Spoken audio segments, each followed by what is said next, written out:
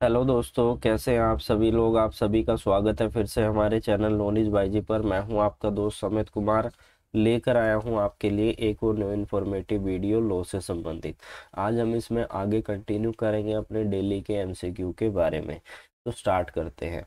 सबसे पहला हमारा क्वेश्चन क्या है? सबसे पहला हमारा क्वेश्चन है जो संबंधित है हमारा आईपीसी से, यानी कि भारतीय दंड संहिता 1860 से।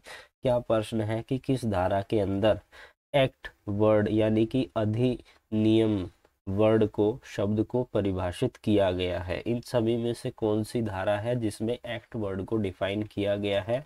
तो धारा 33 के अंदर एक्ट वर्ड को डिफाइन किया गया है। अब हम बात करते हैं हमारे अगले प्रश्न के बारे में, जो है हमारा इंडियन कॉन्ट्रैक्ट एक्ट 1872 से भारतीय संविदा अधिनियम अठारह से क्या है कि किस खंड के अंदर, यानी कि किस धारा की बात की जा रही है, प्रपोजल, यानी कि प्रस्ताव शब्द को परिभाषित किया गया है? तो इसे परिभाषित किया गया है सेक्शन टू ए के अंतर्गत, धारा दो ए के अंतर्गत। अब हम बात करते हैं हमारे अगले प्रश्न के बारे में, जो है हमारा code of criminal procedure CrPC 1973 से, आपराधिक प्रक्रिया संहिता उन्नीस सौ तिहत्तर से। क्या है कि किस धारा के अंतर्गत सत्र न्यायालय सत्र न्यायालय यानी कि सेशन कोर्ट की बात की जा रही है को मामले और अपील को स्थानांतरित करने की शक्ति प्राप्त की गई है तो ये है हमारी सीआरपीसी की धारा 408 अगर हम बात करें 407 की तो हाई कोर्ट के पास यह पावर दी गई है। अगर हम बात करें 406 की तो यह पावर दी गई है सुप्रीम कोर्ट के पास। अब हम बात करते हैं हमारे अगले प्रश्न के बारे में, जो है हमारा किससे? लिमिटेशन एक्ट 1963 से सीमा अधिनियम उन्नीस से। कि इस एक्ट के तहत न्यायालय के पास अधिनियमित के बाहर किसी भी वादी को अधिनियमन के प्रावधानों से मुक्त करने की कोई भी शक्ति प्राप्त नहीं है। साधारण निहित अधिक सवारी करना और सामान्य निहित और अति सवारी तो इसका लास्ट जो है वो बिल्कुल सही जवाब है।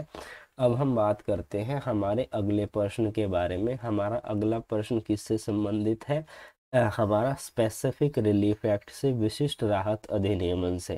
क्वेश्चन क्या है कि निषेधाज्ञा यानी इंजंक्शन नहीं की जा सकती? इन सभी पॉइंट के अनुसार कौन सा सही जवाब है? पहला पॉइंट क्या है कि अनुबंध में जिसे विशेष रूप से लागू किया जा सकता है। अनुबंध में जिसे विशेष रूप से लागू नहीं किया जा सकता, इस बात पर ध्यान दिए बिना कि अनुबंध विशेष रूप से लागू करने योग्य है या नहीं है, या दो और तीन, ये इसका सही जवाब है। तो लास्ट हमारा बिल्कुल इसका सही जवाब है।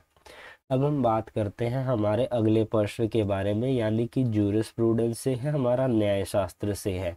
कि किसने यह कहा था कि स्वामित्व किसी वस्तु पर पूर्ण नियंत्रित है? यह बात की गई थी किसके द्वारा? होलैंड के द्वारा। यह इस बात के बारे में कहा गया था। अब हम बात करते हैं हमारे अगले प्रश्न के बारे में। हमारा अगला प्रश्न जो है वो संबंधित है पोस्को एक्ट 2012 से। यानी कि protection of child from sexual offences, यौन अपराध से बच्चों का संरक्षण अधिनियम की बात की जा रही है। कि निम्नलिखित में से किस धारा में अश्लील उद्देश्य के लिए बच्चों के उपयोग को परिभाषित किया गया है? तो ये है हमारी धारा 12 के अंतर्गत इस बारे में बात की गई है। अब हम बात करते हैं हमारे अगले प्रश्न के बारे में कि ट्रांसफ़र ऑफ़ प्रॉपर्टी एक्ट 1882 के अनुसार संपत्ति का हस्तांतरण अधिनियम के अनुसार निम्नलिखित में से कौन सी धारा है इन सभी में से जो बात करती है समेकन के सिद्धांत के बारे में, जो कि शामिल किया गया है? समेकन का सिद्धांत शामिल किया गया है किस धारा के अंतर्गत? तो ये है हमारी धारा 61 61 में यह बात की गई है। अब हम बात करते हैं हमारे अगले प्रश्न के बारे में, जो है हमारा sexual harassment of women at work place act 2013 यानी कि कार्यस्थल पर महिलाओं से यौन उत्पीड़न अधिनियम 2013 की धारा नौ के तहत शिकायत दर्ज करने के लिए निर्धारित समय क्या है? यानी कि एक बात ध्यान रखें कि धारा नौ में शिकायत दर्ज की जाती है और उस शिकायत को दर्ज करने के लिए क्या समय सीमा निर्धारित की गई है? तो उसके लिए समय सीमा निर्धारित की गई है कि तीन महीने के अंदर आपको ऐसा करना है।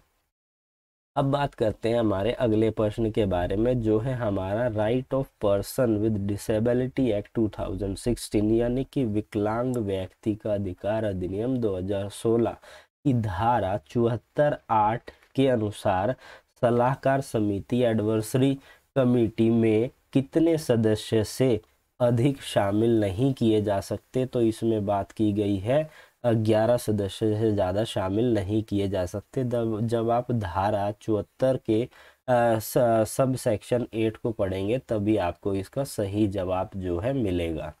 अब हम बात करते हैं हमारे अगले प्रश्न के बारे में, जो है code of civil procedure CPC 1908 से सिविल प्रक्रिया संहिता 1908 से। कि दीवानी वाद में संक्षिप्त प्रक्रियाओं में, संदर्भ में, निम्नलिखित में से कौन सा कथन बिल्कुल सही है?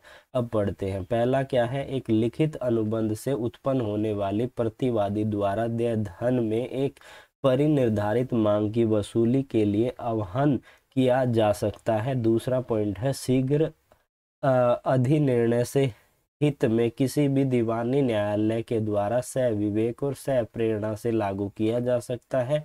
तीसरा है, प्रतिवादी को बचाव के लिए अनुबंध लेने की आवश्यकता होती है, जो यदि प्रदान की जाती है तो शर्त रहित तो होनी चाहिए। या फोर्थ है हमारा, यह सभी कथन सही नहीं है तो इसका जो पहला है वो बिल्कुल सही कथन है, यही इसका सही जवाब है। अब हम बात करते हैं हमारे अगले प्रश्न के बारे में, जो है हमारा इंडियन एविडेंस एक्ट 1872 से, भारतीय साक्ष्य अधिनियम अठारह सौ बहत्तर से। तो भारतीय साक्ष्य अधिनियम अठारह सौ बहत्तर की धारा 101 के तहत सबूत का बोझ यानी बर्डन किसके ऊपर होता है? क्या वो शिफ्ट होता है? यहाँ पर शिफ्ट की बात की जा रही है आंसर के अंदर। कभी भी शिफ्ट नहीं होता।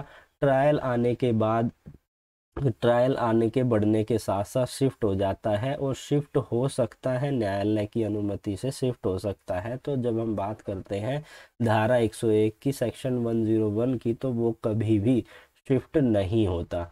अब हम बात करते हैं हमारे अगले प्रश्न के बारे में कि protection of women from domestic violence act 2005 यानी कि घरेलू हिंसा में महिलाओं की सुरक्षा अधिनियम 2005 की बात की जा रही है कि इसकी धारा 20 के अनुसार जो भी आर्थिक राहत यानी मॉनिटरी रिलीफ प्रोवाइड किए जाते हैं, उसके बारे में किसकी, किसको दिए जाएँगे, किसको प्रोवाइड किए जाएँगे। क्या वो पीड़ित को दिए जाएँगे, पीड़ित के बच्चे को दिए जाएँगे, पीड़ित और पीड़ित के बच्चे को दिए जाएँगे या उपरोक्त में से किसी को भी नहीं दिए जाएँगे तो वो दोनों को दिए जाएँगे। जब आप सेक्शन ट्वेंटी को पढ़ेंगे protection of women from domestic violence act यानी डीबी एक्ट 2005 को, तब आपको इसका सही जवाब मिल जाएगा।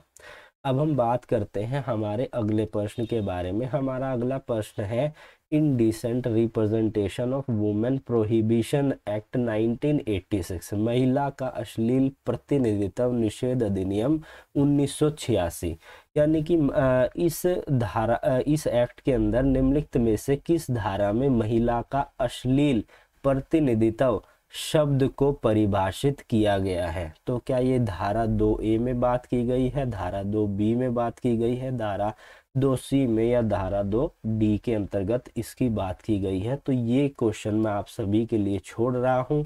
नेक्स्ट वीडियो में आपके साथ इसका जवाब मैं शेयर करूँगा। तो आज आज की वीडियो में इतना ही। फिर मिलेंगे हम एक न्यू लेक्चर के साथ। तब तक के लिए जुड़े रहिए Amit Kumar, knowledge by G के साथ।